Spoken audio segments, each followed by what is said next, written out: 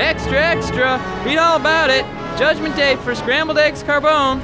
Easy does it, Judge Wilson. You're no kid anymore, and the city is counting on you. Oh, you mustn't baby me so, dear Sarah. I'll get spoiled. I'm just worried about you, with all the death threats and all. I can handle myself, my dear assistant.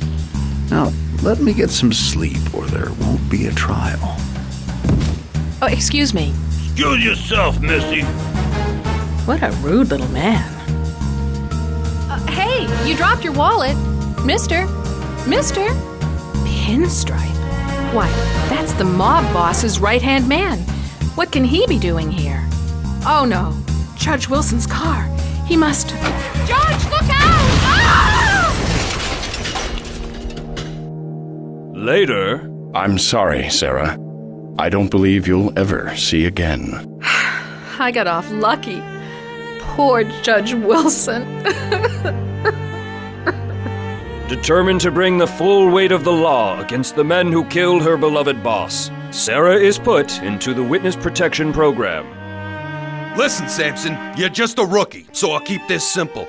If this skirt's gonna testify, she's gonna go down at midnight tonight. I don't want your money, lowlife. Tell your story walking.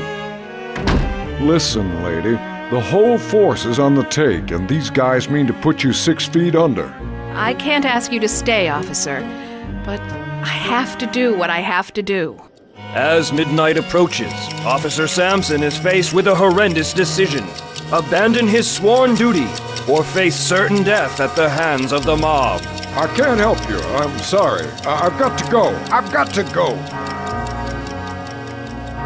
Okay, little bird. Time to learn the price of singing.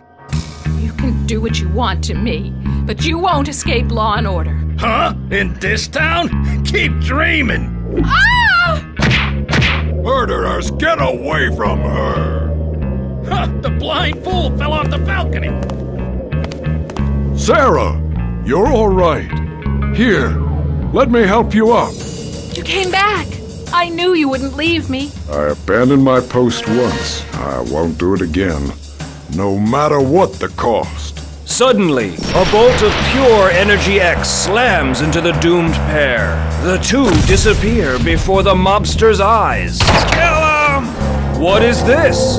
Another startling transformation brought on by Energy X. What is that? Look out! Frankie! Frankie, help! Who are you? What happened to the frail? There are no frails here, friend. We won't rest until you and your bosses flee Patriot City with your tails between your legs. For where there is law, There is order. And so, another pair of heroes joins the battle against evil in Patriot City. But will they join the Freedom Force